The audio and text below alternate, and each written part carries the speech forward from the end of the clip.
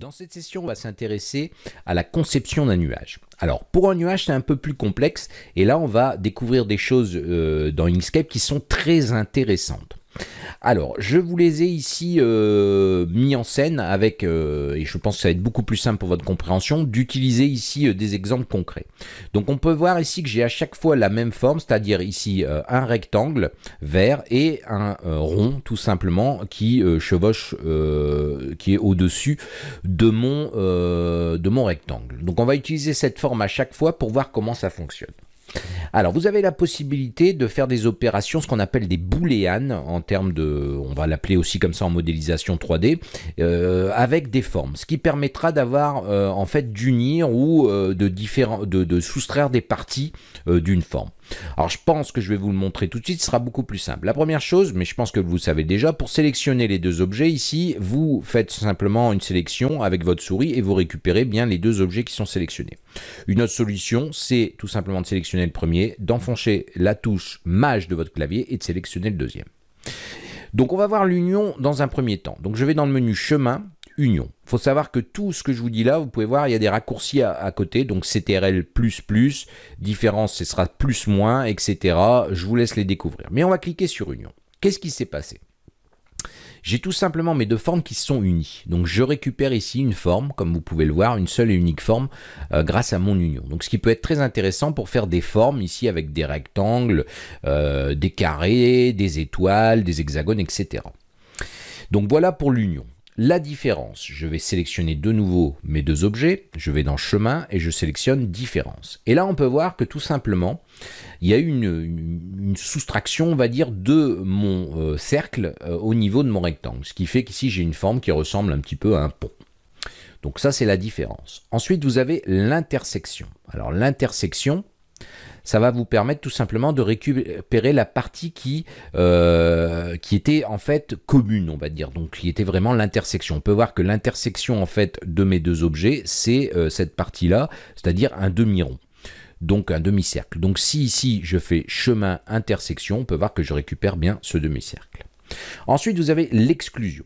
Alors l'exclusion, voilà ce que ça donne vous avez ici, en fait, tout simplement, la partie, en fait, d'intersection qui est exclue, tout simplement, comme vous pouvez le voir. Ce demi-cercle qui était commun à, mes deux objets, en fait, il n'est plus là. Et là, j'ai bien, encore une fois, comme vous pouvez le voir, un simple et unique objet, donc ce qui peut être assez intéressant. Ensuite, vous avez la division. Alors la division, vous allez voir, euh, ça peut un petit peu s'apparenter euh, à la différence. Donc je vais ici prendre au chemin division vous pouvez voir que en fait la partie ici euh, a été la partie du bas qui ne faisait pas partie, qui n'était pas commune à mon objet, a disparu. En fait, euh, elle a disparu, mais là, contrairement à tout à l'heure, j'ai un deuxième objet. Comme vous pouvez le voir, j'ai récupéré ici en fait la partie qui faisait l'intersection et je récupère ici la différence. Donc, vous voyez ce que c'est euh, en fait la différence entre la division, la différence, l'intersection, c'est un petit peu une combinaison des deux. Donc ça, ça s'appelle la division. Donc voilà euh, pour les choses qui sont les plus communes, on va dire. Donc il y en a qu'on va plus utiliser d'autres, euh, mais euh, dans tous les cas, ça peut être bien utile. La dernière chose qui, me reste à vous montrer, c'est le découper en chemin.